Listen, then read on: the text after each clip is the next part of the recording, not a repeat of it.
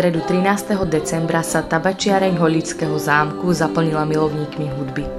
Základná umelecká škola pripravila vianočný koncert pre Holíč.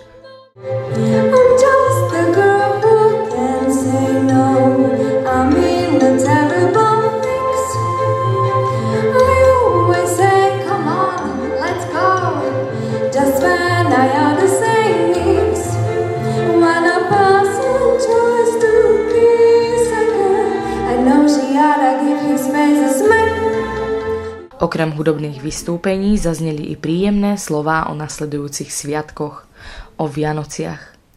Skutočné odpustenie je sila, ktorá je silnejšia ako čokoľvek iné, za čo ju chceme ukryť.